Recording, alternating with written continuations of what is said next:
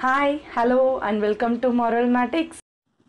Hello viewers welcome to Moral Matics Academy நம்ம இன்னைக்கு இந்த செஷன் என்ன பார்க்க போகிறோம் அப்படின்னா நம்ம Tamil Nadu state board new syllabus two thousand நைன்டீனில் இருக்கக்கூடிய சாப்டர் மென்சுரேஷன் டென்த் ஸ்டாண்டர்ட் மேக்ஸில் இருக்கக்கூடிய மென்சுரேஷன் பார்க்க போகிறோம் நம்ம மாரல் மேட்டிக்ஸ் அகாடமியில் உங்களுக்காக. ஸோ இதில் வந்து நான் ஆல்ரெடி சிலிண்டருக்கு cuboid cube right circular cylinder hollow cylinder அப்புறம் cone frustum of the cone எல்லாத்துக்குமே நான் வந்து உங்களுக்கு ப்ராக்டிக்கலாக நான் வீடியோஸ் போட்டிருப்பேன். ஸோ இப்போ லாஸ்ட் ஷேப் என்னன்னா ஸ்பியர் கோலத்தை பற்றி போட போகிறோம் ஸோ அந்த கோலத்துலேருந்து எப்படிலாம் நம்ம வந்து உருவாக்குறோம் அப்படின்னு சொல்லி பார்க்கலாம். ஸோ எப்போவுமே மட்டும் சொன்னோம். இப்போ கோலத்தில் மட்டும் என்ன சொல்லியிருப்பாங்கன்னா அதுக்கு டிஎஸ்சின்னு தனியாக கிடையாது. சிஎஸ்சி எல்எஸ்ஏன்னு தனியாக கிடையாது. மொத்தமாகவே சர்ஃபேஸ் ஏரியா அப்படின்னு தான் சொல்லுவாங்க. ஸோ அதுதான் வந்து வலைப்பரப்பு தமிழில். ஸோ அதை எப்படி நம்ம ஃபைன் பண்ண போகிறோம்னு சொல்லி பார்க்கலாம் வாங்க. ஸோ நம்ம போகிறதுக்கு முன்னாடி நம்ம கண்டென்ட் உங்களுக்கு பிடிச்சிச்சு அப்படின்னா ஒரு thumbs up like share and subscribe பண்ணிக்கோங்க. கூடவே இருக்க பெல் ஐக்கானையும் கிளிக் பண்ணிக்கோங்க. அவ்வளோதான் வேற ஒன்றும் கிடையாது. ஸோ இன்னைக்கு வந்து கோலத்துக்கு ஒரு எக்ஸாம்பிள் நான் ஒரு ஃப்ரூட் எடுத்திருக்கேன். இது என்ன ஃப்ரூட்டுன்னு சொல்லிட்டு நீங்களே கமெண்ட் செக்ஷனில் சொல்லுங்கள் இல்லை நான் சொல்லிடுறவா அது எனக்கு தெரியல. ஸோ இது வந்து ஒரு அழகான ஒரு இது வந்து ஆனால் ஒரு மாதிரி ஸ்மெல் வரும். ஆனால் அது மலை கொல்லிமலை பக்கம்லாம் நிறையா கிடைக்கும். இது கொல்லிமலை பக்கம் தான் நான் வாங்கிட்டு வந்தேன். ஏன்னா எங்கள் ஊர் அங்கே தான் இருக்குது பக்கத்தில். ஸோ அதனால தான் ஸோ இது பேர் என்ன அப்படிங்கிறது நான் இங்கிலீஷில் சொல்கிறேன் தமிழில் என்னன்னு சொல்லிட்டு நீங்கள் டைப் பண்ணுங்கள் ஏன்னா சில குழந்தைங்களுக்குலாம் வந்து இங்கிலீஷ் ஃப்ரூட்டுக்கு தமிழில் தெரில ஓகே ஸோ இது இங்கிலீஷில் என்னன்னு சொல்லுவாங்கன்னா வுட் ஆப்பிள் அப்படின்னு சொல்லுவாங்க. ஸோ இந்த வுட் ஆப்பிள் இதுதான் வந்து பாயிண்ட் கொடுத்துருக்காங்க. ஸோ இது வந்து ஒரு சர்க்கிள் ஷேப் பர்ஃபெக்டாக சர்க்கிள்னு சொல்ல முடியாது ஸ்பியர் அப்படிங்கிறதுக்கு பர்ஃபெக்டாக சொல்லலாம். ஏன் மேம் இந்த ஆப்பிள் எடுத்திருக்கீங்க அப்படின்னு சொல்லி பார்க்க வேணாம். ஸோ இப்போ இந்த பால் எடுத்தோம் அப்படின்னா இதுக்குள்ளே வந்து எப்படி இருக்கும்னா ஹாலோவாக இருக்கும் கரெக்டாக ஸோ ஹாலோவாக இருக்கிறனால இதை வந்து நம்ம வந்து ஃபுல்லாக வந்து ஏர் இருக்குது மேம் அப்படின்னு நீங்கள் சொல்லலாம் சில intelligent people but okay correct தான். நீங்கள் சொன்ன விஷயம் கரெக்டு தான். இருந்தாலுமே வந்து ஏதாவது ஸ்டஃப் பண்ணி வச்சோம்னா நம்ம கரெக்டாக இருக்குங்கிறதுக்காக தான் இதை ஸ்பியருக்கு நான் வந்து எக்ஸாம்பிள் எடுக்காமல் இதை எடுத்திருக்கேன். ஓகேவா ஸோ இதை எடுக்கும் பொழுது உங்களுக்கு இன்னும் வந்து சிம்பிளாக வந்து புரியும். உள்ளே வந்து பழம் இருக்கும். அதோட ஃப்ளஷ் இருக்கும் உள்ளே. ஸோ வெளியே வந்து இந்த அவுட்டர் லேயர் இருக்கனால இதை வந்து பர்ஃபெக்ட் எக்ஸாம்பிள் ஃபார் ஸ்பியர் அப்படின்னு சொல்லி நான் எடுத்துருக்கிறோம். ஓகேவா ஸோ இப்போ ஓகே ஓகே மேம் ஸ்பியர் சொல்லிட்டீங்க. இது வந்து எப்படி வந்து இதாவது நீங்கள் வந்து ஒரு சிலிண்டருக்கு சொன்னீங்க. ரெக்டாங்குலர் ஷீட் எடுத்து ஃபார்ம் ஆகிறது சிலிண்டர் அப்படி நீங்கள் ஸ்கொயர் ஷீட் எடுத்து ஃபார்ம் ஆகிறது வந்து கியூப் அப்படின்னீங்க. இப்போ அதே ரெக்டாங்குலர் ஷீட்டில் தான் வந்து நம்ம கோனுன்னு பார்த்தோம். ரைட் சர்க்கிள் சிலிண்டர் வச்சு தான் நம்ம எல்லாமே பார்த்துருக்கோம். பேஸே வந்து சிலிண்டர் வச்சு தான் பார்த்துட்டு இருக்கோம் இதுக்கு என்ன பேஸ் அப்படின்னா இதுக்கு வந்து இந்த சென்டர் பார்ட் எதை சொல்ல வரேன் அப்படின்னு நான் சொல்கிறேன் இப்போ. ஸோ இதுதான் வந்து சென்டர் பார்ட்னா இது வந்து இந்த பார்ட்லேருந்து இது வரைக்கும் வந்து உள்ளே வந்து ரேடியஸ் இருக்குமா? எழுத மாட்டேங்குது ஆப்பிள் மேலே. ஸோ இது வந்து ரேடியஸ் அப்படின்னு சொல்லுவாங்க. ஓகே ஸோ ரேடியஸ் இதை பாருங்க. இது ரெண்டு சென்டர் அப்படிங்கும்போது இந்த பார்ட்லேருந்து இந்த பார்ட் வரைக்கும் ரேடியஸ் ஸோ இது சென்டர் பார்ட்னு வச்சுக்கலாம். ஸோ இங்கேருந்து மறுபடியும் வருது. இதுதான் சென்டர் பார்ட் இங்கே. ஸோ இப்படி வந்து ஒரு ஹாஃப் சர்க்கிளாக எடுக்கும் பொழுது இது வந்து ரேடியஸ் ஃபுல்லாக டயாமீட்டர் ஸோ அப்படி தான் சொல்லுவோம். ஸோ இது ஃபுல்லாக டயாமீட்டர் இப்படி எடுத்தாலும் அப்படி தான் இது வந்து ஒரு வட்டம் ஃபுல்லாக அப்படி நம்ம போட்டுக்கணும். அதான் டயாமீட்டர் நமக்கு தெரியும். இருந்தாலும் நான் வந்து போட்டு காமிச்சிருது நல்லது இல்லை சில பேர் வட்டம் வரல. அது ஆப்பிளாக இருந்த பாலாக இருந்தால் பர்ஃபெக்டாக வரும். ஸோ ஓகே ஸோ இப்படி இருக்குன்னு வச்சுக்கலாம். ரொம்ப வந்து என்னமோ ஆன்ஷியன்ட்டு திங்ஸை uh, காமிக்கிற மாதிரி ஒரு ஃபீல் வருது. ஓகே ஸோ இப்போ இந்த டயாமீட்டரில் என்ன பண்ணுவாங்கன்னா இது ஒவ்வொரு சர்க்கிளாக சொல்லுவாங்க. ஸோ இது ஒரு சர்க்கிள் அப்போ இங்கே மேலே ஒரு சர்க்கிள் அடுத்த லேயர் ஒரு சர்க்கிள் அடுத்த லேயர் ஒரு சர்க்கிள் இப்படி வந்து சர்க்கிள் ஃபார்ம் ஆகிட்டே போகும். இந்த சென்டராக இருக்கக்கூடியது தான் வந்து பெரிய சர்க்கிள் ஸோ இதை வந்து என்ன சர்க்கிள் அப்படின்னு சொல்லுவாங்க அப்படின்னா கிரேட் சர்க்கிள் அப்படின்னு சொல்லுவாங்க. இங்கிலீஷில் கிரேட் சர்க்கிள் சொல்லுவாங்க. ஸோ இந்த மாதிரி எல்லா சர்க்கிள் ஃபார்ம் ஆகிறதா ஒரு ஸ்பியராக நம்ம எடுத்துக்கிட்டோம் அப்படின்னா இந்த மாதிரி கிடைக்கும். உங்களுக்கு எக்ஸாம்பிளுக்கு நான் இந்த பால்லே போட்டு காமிச்சுன்னா உங்களுக்கு தெரியும். ஸோ இந்த இடத்துல ஒரு லைன் இருக்குல்ல. ஸோ இது வந்து வந்து முக்கா பாகமாக இருக்குது இதே வந்து நான் சென்ட்ரா இதுதான் சென்டர் பாயிண்ட் இந்த பாலுக்கு ஸோ இந்த சென்டரா இந்த பாட்டு ஸோ இந்த சென்டராக இந்த பார்ட் இருந்துச்சு அப்படின்னா இதுதான் வந்து என்னவா இருக்கும்னா டயாமீட்டராக இருந்திருக்கும். கரெக்டாக ஸோ இது வந்து ஒரு சர்க்கிள் அந்த மாதிரி. ஸோ இந்த மாதிரி ஃபார்ம் ஆகும்போது ரெவல்யூஷன் ஆஃப் செமி சர்க்கிள் என்ன சொன்னேன்? Revolution of semi circle forming a sphere அப்படின்னு சொல்லுவோம். அதுக்காக தான் நான் இவ்வளோ கோடு போட்டு இவ்வளோ பண்ணேன். ஓகேவா சரி ஓகே மேம் இது ஓகே இப்போ வந்து இதுக்கு சர்ஃபேஸ் ஏரியா கண்டுபிடிக்க போகிறோம் ஸோ அந்த சர்ஃபேஸ் ஏரியா எப்படி மேம் கண்டுபிடிக்க போகிறோம் அப்படின்னா ஆர்கிமெடிஸ் அப்படிங்கிறது எல்லாத்துக்குமே தெரியும். ஆர்கிமெடிஸ் தத்துவம் அது இதுன்னு சொல்லிட்டு நிறையா சொல்லியிருக்காங்க. ஸோ அவர் சொன்ன ஒரு ப்ரூஃப் தான் இந்த ஸ்பியருக்கான ஃபார்ம்லாம் கொண்டு வராங்க. ஸோ அந்த ஸ்பியர் என்ன பண்ணுறோம் அப்படின்னா ஏதாவது ஒரு சிலிண்ட்ரிக்கல் ஷேப் ஓகேவா ஃபார் எக்ஸாம்பிள் நான் இதை வந்து சிலிண்ட்ரிக்கல் ஷேப்பாக எடுத்துக்கிட்டேன். ஸோ இது வந்து ஹாலோ இது வந்து நீங்கள் கீழே ஃபில்லாக இருக்கதா நினச்சிக்கோங்க ஓகேவா ஸோ ஏதாவது ஒரு சிலிண்ட்ரிக்கல் ஷேப்புக்குள்ளே என்ன பண்ணுறாங்க அப்படின்னா இந்த நம்ம சொன்ன சாரி நம்ம எடுத்துக்கிட்ட அந்த சர்க்கிளை உள்ளே போகிறாங்க இப்போ என்ன அர்த்தம்னா இந்த சர்க்கிளோட ரேடியஸ் இருக்குல்ல ஸோ இங்கிருந்து ஸோ இந்த மிட் பார்ட்னு வச்சுட்டோம்னு வச்சுக்கோங்களேன். ஸோ இங்கிருந்து இந்த ரேடியஸ் வருதுல்ல. ஸோ இந்த ரேடியஸ் ஸோ இந்த ரேடியஸும் இந்த சிலிண்டர் இது கொஞ்சம் கேப் இருக்குது நீங்கள் டைட்டாக இருக்கிறதா நினச்சிக்கோங்க ஓகேவா டைட்டாக இருக்கிறதா நினச்சிக்கோங்க. இதுக்கு லைட்டாக கேப் வருது. ஸோ இந்த ரேடியஸ் வந்து ஈக்குவலாக இருக்குது ஓகேவா ஸோ அப்படி பார்க்கும் பொழுது நமக்கு வந்து இந்த சர்க்கிளில் பர்ஃபெக்டாக டு ஈக்குவலாக இருக்குது அப்படிங்கிற மாதிரி அர்த்தம். அப்படி இருக்கும் பொழுது நமக்கு என்ன ஆகுது அப்படின்னா இந்த ஹைட் வந்து என்ன வேல்யூ வருது அப்படின்னு பார்த்தீங்கன்னா ஹைட்டோட வேல்யூ ஸோ இந்த பாலை வந்து டயாமீட்டருக்கு ஈக்குவல் கரெக்டாக ஹைட்டோட வேல்யூ எதுக்கு ஈக்குவலாக இருக்கும்? டயாமீட்டர் ஏன்னா பால் பர்ஃபெக்டாக பொருந்தது அப்படின்னு வச்சுக்கோங்க. எனக்கு கரெக்டாக அந்த பாக்ஸ் கிடைக்கல. ஸோ இதை வச்சு புரிஞ்சுப்பீங்க நம்புறேன். இங்கே கீழே பேஸ் இருக்குது இந்த பால் பர்ஃபெக்டாக உள்ளே பொருந்தும் பொழுது இந்த ஸ்லீண்டரோட ஹைட்டு மட்டும் என்ன ஆகுதுன்னா டயாமீட்டர் டயாமீட்டர்னா என்ன பண்ணுவோம் டீன் போடுவோம் இல்லைன்னா டூ ஆர்னு போடலாம். ஸோ எப்படி வேணால் போடலாம். ஸோ டயாமீட்டருக்கு ஈக்குவலாக இருக்குது அப்படிங்கிறத மட்டும் நம்ம ஞாபகம் வச்சுக்கலாம். ஸோ இப்போ இது புரிஞ்சிருக்கும் நம்புறேன். நான் வந்து ஃபிகரில் போட்டு உங்களுக்கு இன்னும் நீட்டாக உங்களுக்கு எக்ஸ்பிளைன் பண்ணி காமிக்கிறேன். வாங்க. ஸோ இதுதான் இந்த டயக்ராம் நான் சொன்ன மாதிரி அந்த செலோட்டை பேஸ் வந்து இந்த சிலிண்டராக எடுத்துக்கிட்டு உள்ள ஒரு சர்க்கிள் நீங்கள் மேக் பண்ணிங்கன்னா இங்கேயும் ஆர் தான். ஸோ இங்கேயும் ரேடியஸ் ஆர் தான். ஒரு சிலிண்டருக்கும் அதே ஆறு தான் இருக்கும். இங்கேயும் அதே ஆறு தான் இருக்கும். நான் முன்னாடி சொன்ன மாதிரி அந்த ஹெச் வந்து எதுக்கு ஈக்குவலாக இருக்குது டூ ஆர் அது எப்படி மேம் பாசிபிள் அப்படின்னா அந்த சிலிண்டரோட ஹைட்டும் அந்த கோலத்தோட ஹைட்டும் ஈக்குவலாக இருக்குது ஸோ ஹைட்னா இந்த இடத்துல நம்ம என்ன மென்ஷன் பண்ணுவோம்? அந்த டயாமீட்டர் ஸோ இங்கே ஒரு ரேடியஸ் இருக்கும். இங்கே ஒரு ரேடியஸ் இருக்கும்.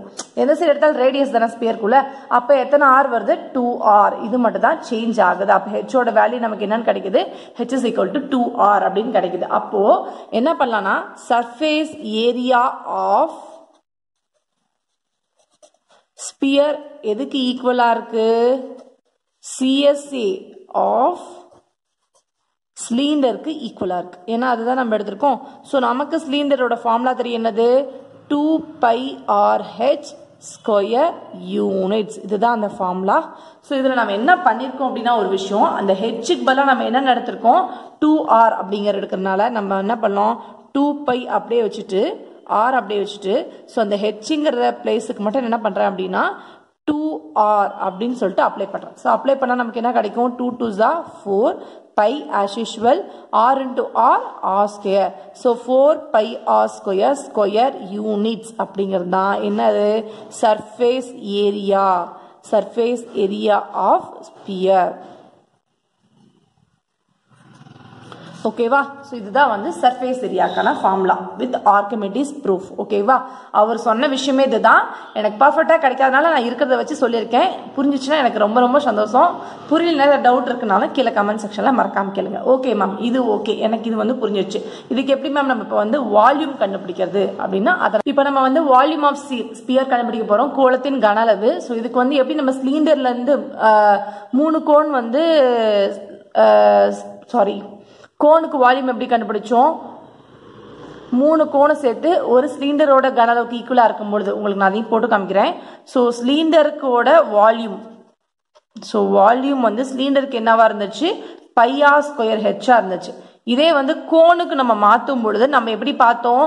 மூணு கோன் சேர்ந்து சிலிண்டரை ஃபில் பண்ணுறனால நம்ம வந்து என்ன பண்ணோம்? ஒன் பை த்ரீ பையா ஸ்கொயர் ஹெச் அப்படின்னு சொல்லி இதை நம்ம ஃபில் பண்ணோம். கரெக்டாக இதை மூணு கோன் சேர்ந்தது. உங்களுக்கு வேணால் டயக்ராம் போகிறேன் ஸோ மூணு கோன் எடுத்தோம்.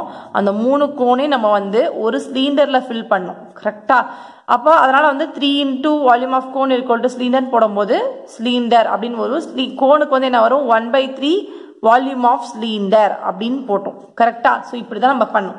ஸோ இங்கே நம்ம என்ன பண்ண போகிறோம் அப்படின்னா ரெண்டு கோன் ரெண்டு கோன்ல என்ன ஆகுது அப்படின்னா நமக்கு என்ன ஈக்குவலாக இருக்குது அப்படின்னு நான் காமிச்சிடுறேன். ஸோ என்ன ஈக்குவலாக இருக்கும்?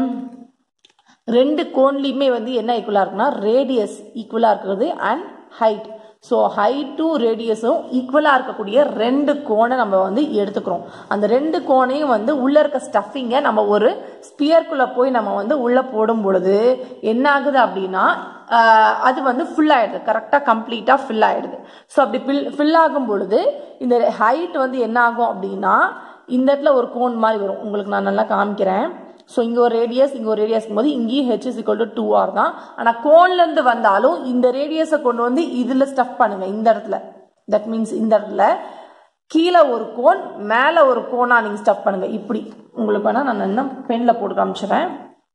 ஸோ இந்த இடத்துல இப்படி மேலே ஒரு கோனாகவும் கீழே ஒரு கோனாகவும் நம்ம ஸ்டஃப் பண்ணும்பொழுது ஜஸ்ட் அதை நான் உங்களுக்கு பு- புரியறதுக்காக உள்ள ஸ்டஃப் பண்ணால் அந்த ஷேப் மாறிடும் உங்களுக்கு எப்படி அதை ஸ்டஃப் பண்ணும் எந்த இடத்துல ரேடியஸ் அட்டாச் பண்ணும் அந்த ரெண்டு ரேடியஸ் அட்டாச் பண்ணி நம்ம ஒரு கோணத்தில் செட் பண்ணும்பொழுது இங்கே என்ன ஆகுது? ஹைட் ஈக்குவல் டு டூ ஆராக மாறுது. ஸோ நம்ம வந்து கோ ஸ்பியரை பொறுத்த வரைக்கும் ஹைட் என்னவா மாறுது? இதை நம்ம சிலிண்டர்லேருந்து எடுத்த சர்ஃபேஸ் ஏரியாவாக இருந்தாலும் சரி இங்கே வந்து வால்யூமில் எடுக்கக்கூடிய கோணாக இருந்தாலும் சரி நமக்கு மொத்தத்தில் ஹைட்டுங்கிறது என்னவா மாறிடுது அப்படின்னா டூ ஆராக மாறிடுது. ஓகேவா ஸோ இப்போ நம்ம என்ன பண்ண போகிறோம் அப்படின்னா volume of sphere equal to ரெண்டு கோன் எடுத்திருக்கோம். So two cone into volume of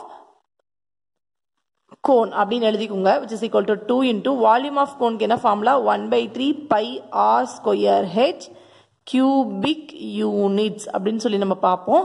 So which is equal to two pi three pi r square இந்த இடத்துல இருக்கக்கூடிய ஹெச்சுக்கு நம்ம என்னவா மாற்றணும் ஹெச்சுக்கு பதிலாக என்னன்னு மாற்றணும் டூ ஆர்னு மாற்றணும் அப்போ டூ ஆர் அப்படின்னு மாற்றும் பொழுது நமக்கு வால்யூம் ஆஃப் கோன் என்னன்னு கிடைச்சிச்சு அப்படின்னா டூ டூ ஜா ஃபோர் பை த்ரீ பை இங்கே ஆர் ஸ்கொயர் இங்கே ஆர் இருக்கனால ஆர் கியூப் கியூபிக் யூனிட்ஸ் அப்படின்னு சொல்லிட்டு நமக்கு மாறிடுது.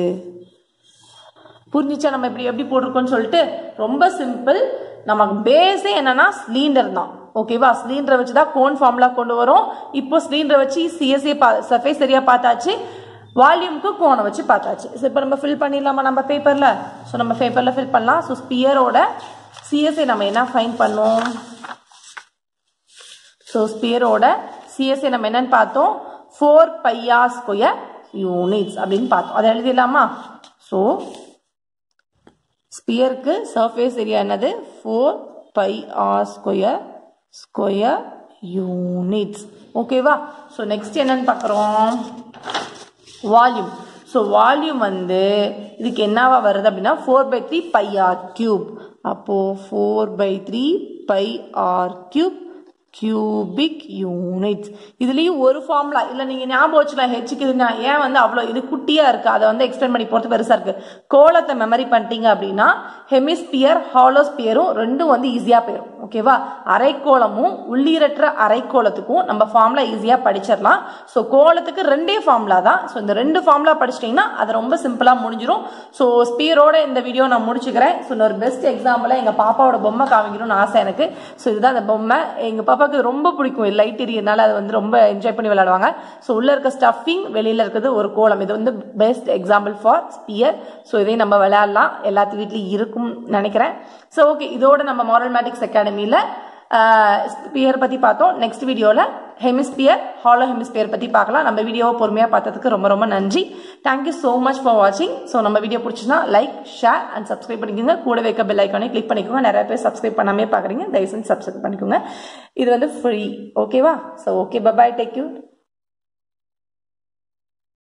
உங்களுக்கு உங்களுக்கு மார்வல் மேட்டிக்ஸ் மாட்டி. அகாடமி. உட்காந்து பிடிச்சிருந்துச்சுன்னா பிடிச்சிருக்கா லைக் லைட் பண்ணுங்க. ஷேர் பண்ணுங்க. பண்ணாங்க. சப்ஸ்கிரைப் பண்ணுங்க. பண்ணுங்க. பண்ணுங்க தேங்க்யூ தேங்க்யூ